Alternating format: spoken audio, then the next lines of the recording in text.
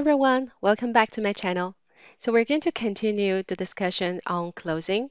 So previously, we have covered the month-end close process. Please feel free to check out that video if you have missed that. I'm going to put the link down below.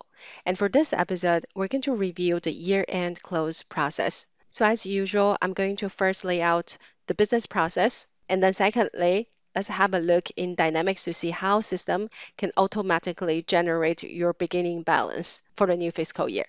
All right, without further ado, let's get started. So let me share the PowerPoint.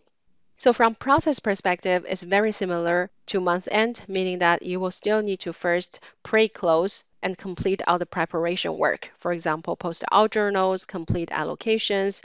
So that's very similar. And the second step, you also want to run your subledger and general ledger reconciliation and then generate the preliminary month-end or year-end financial statements, check the results, and finally change the period on hold.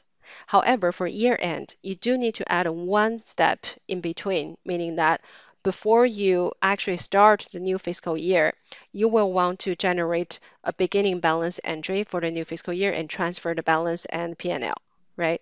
So for that process, Dynamics can provide the batch job to help you automate that process. So before we get to the technical side, let's first clarify what do you need to transfer from prior year to current year. So if you have accounting background, it may sound obvious, but maybe just for someone who is not familiar, when we talk about the balance transfer from prior year to current year or to the new fiscal year, actually there are two parts. One is on your balance sheet accounts. So those are your asset, equity, liability, etc. So those balance sheet accounts typically needs to transfer to the new fiscal year with one-to-one relationship, right? And then the second part will be your P&L account. So that's your expense, revenue, which gives your net result of gain or loss of that previous fiscal year. And for this group of accounts, the common practice is you don't transfer one to one to the new fiscal year because that's the past year results. But you do want to transfer the remaining into retained earning account for the new fiscal year. All right, so let's recap quickly. Balance sheet accounts, you need to transfer as is from the prior year to the new fiscal year. For P&L accounts, you want to include our expenses and revenue, all those accounts. The results will be aggregated or sum up and then transfer into one account called retained earning for the new fiscal year. So that's from business process perspective, how that transfer should happen. Now let me switch to Dynamics and show you how that will map out in the system.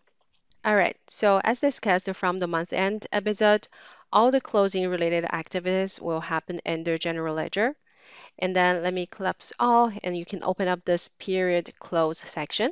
So for year end close, it's going to be through this menu. Okay, first thing, you can have as many year-end close batch jobs as needed, depending on the complexity and uh, organization hierarchy. So in this case, for example, this is a large entity and we have US companies, German companies, consolidation company. So I probably need to run the year end for all those entities, right? So I group those by US, Germany. And now let's talk about why we need to group those.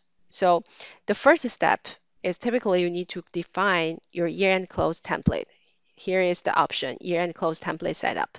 So the purpose of this template is basically to group all the key features which will not change every time we run the year-end process. So let's take an example. If I go with this US companies and click here, year-end close template. So first you can see for all those US companies, they are sharing the same fiscal calendar. And then here are the list of all legal entities having the same retained earning account. Then you can also have different accounts if they're not sharing the same chart of account. That's okay. But the key thing is if you want to share the same year-end close template, they have to follow the same fiscal calendar right? And also you want to make sure down below there are some common features for balance sheet financial dimensions, profit and loss financial dimensions, and you can handle that for each entity within this US companies group. So let me explain this. What are these financial dimensions? Again, as we explained previously, the balance sheet financial dimensions are targeting our balance sheet accounts. So typically this is asking you, when I transfer the balance from prior year to current year, do you want to include the financial dimensions from the prior year, right? And currently you can see this toggle is enabled because this is best practice. meaning that balance sheet account is typically one to one when you transfer, right? And it doesn't hurt to transfer that financial dimension as well for your new year analysis. So when I run the trial balance for the new fiscal year, I will be able to check through that voucher, okay, this transaction is from my prior year, and here are associated financial dimensions. So it's helpful. Now moving down to this P&L financial dimensions. So it's the same ask. The system wants to know when you transfer P&L account, do you want to keep financial dimensions? Now the best practice is we do not want to transfer the financial dimensions because as we discussed, all the P&L accounts will be posted to one single retained earning for the new fiscal year. And if you transfer multiple financial dimensions, depending on the number of combinations, the system will have multiple retained earning lines together associated to that financial dimension combination. So that means when you run your trial balance for the new fiscal year, likely you're going to see hundreds or thousands of records of that retained earning account with different financial dimension combination. So probably that's going to be messy for your new fiscal year analysis. But now the question may be, okay, if we don't transfer, how can I track the prior year financial dimensions?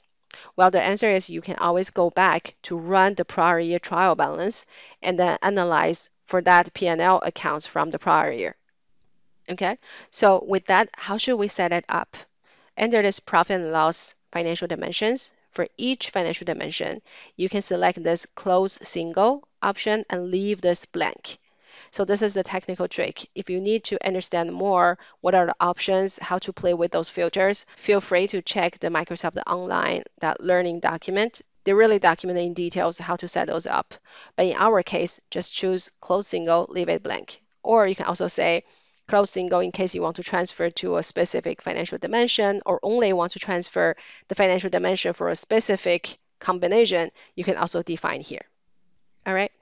So with that, we have completed this year-end close template. Just one side note, as I mentioned, remember this balance sheet dimension and P&L dimensions. This is defined per company, meaning that now we're selecting this USMF.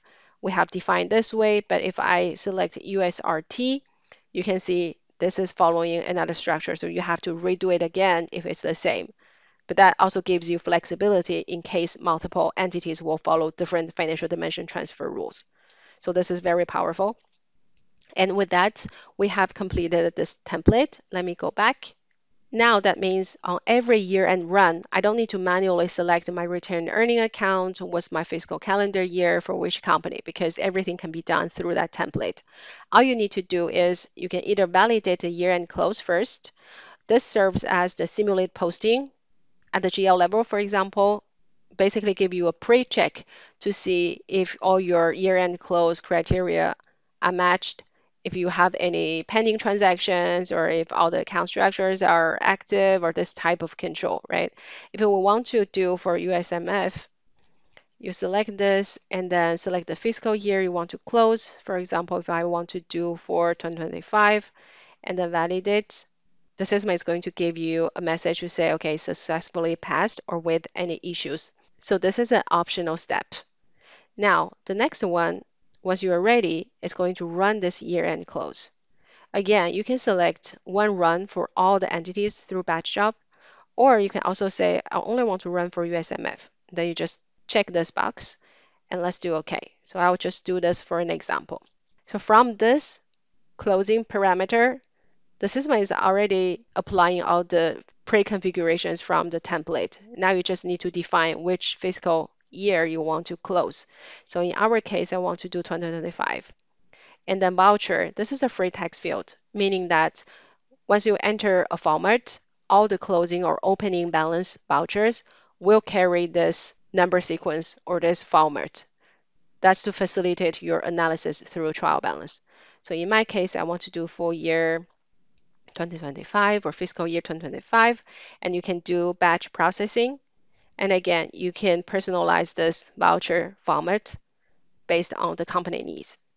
Okay, and from here I can do OK. Oh, now we get an error message to say there's no fiscal year within the fiscal calendar. This is probably because of um, the testing environment.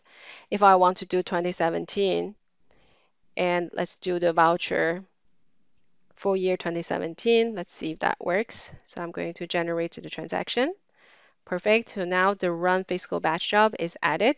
We just need to refresh and it's going to show up here as a record to say now you have a year-end close entry generated. So a few things I want to highlight here. Number one, you can run as many times as needed. Let's say you have run a year-end close, and then after that you realize, oh, we have some adjustments to be done, and we just do some GL entries again in the system. Now you need to rerun that process again. So no worries, you can definitely reverse the prior run and then run this year-end close one more time. And the system is going to override the transactions or the postings it generated from the prior run. So this is very helpful. Actually, this is a configuration point you can control if you want to keep the journal posting from prior run or you want to overwrite. So while we're waiting, let me show you from another tab. So it's actually from the uh, general ledger parameters. Okay, so I will go to general ledger and then let's see under ledger setup, general ledger parameters, there's a section for closing purposes. Okay, when I scroll down below, you see fiscal year end. And actually here, delete existing year-end entries when reclosing the year. So this is the controlling point. Now I enable this option. That means every time when I rerun, it's going to override or delete the transactions posted from prior run. Okay. And there are some other important configuration points here. For example, create closing transactions during transfer.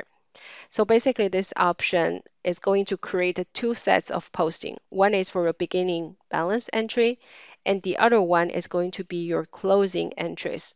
So the end result doesn't change. It will always transfer your balance to the new year, bring you prior year balance down to zero.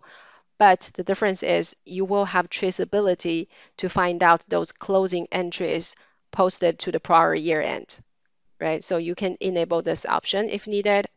This is more for audit or traceability purposes. So now let's go back to the prior screen and let me refresh. So you see now we have this record created for USMF. The fiscal year is 2017 and it's following the voucher I defined. So when I click this, it's going to bring me to the journal entries that have been posted to the new fiscal year because the date you can see is posted to 1-1-2018. At the same time, it's going to bring the prior year balance down to zero. And now I scroll a little bit, let's check the account combination. So we say for balance sheet account, it's going to follow the same account together with the financial dimension. So that's what you see for the new fiscal year. We do see the financial dimension combination being transferred to those balance sheet accounts, right?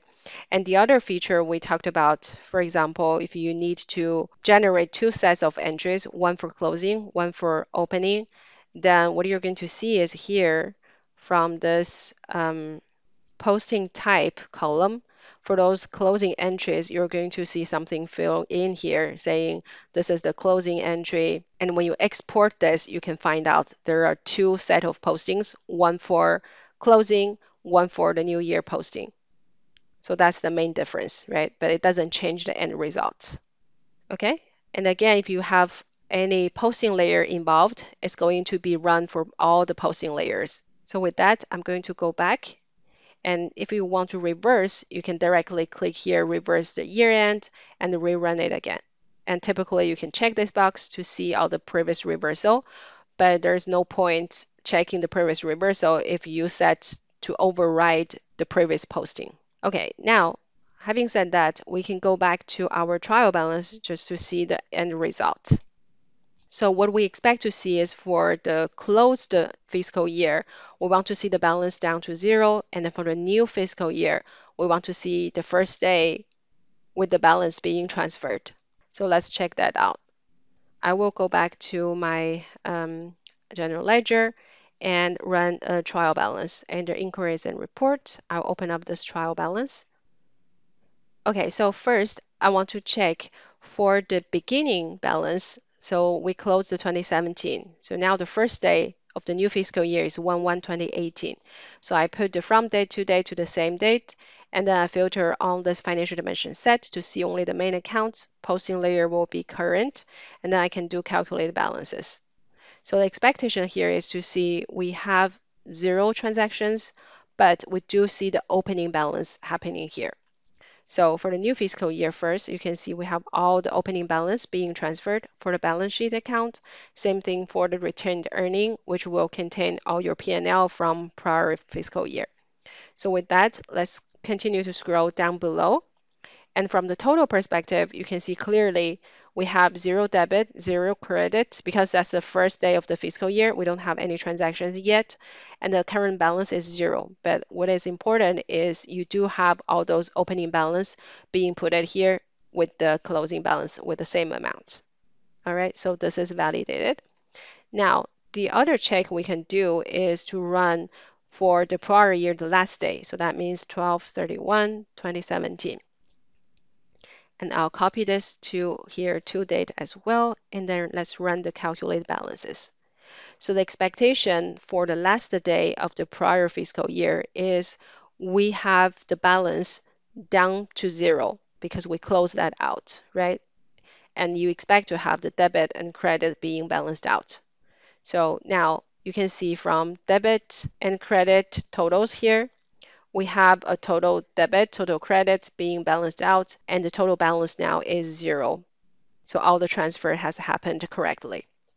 All right, and if you want to check the financial dimensions, you can also play with the filter here. Just use the same from date to date and then check this financial dimension set to include the financial dimensions.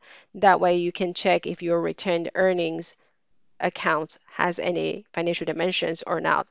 Typically, from our configuration point, you want to see the balance sheet accounts with financial dimension, but the retained earning account has only one single account for the first day of the new fiscal year.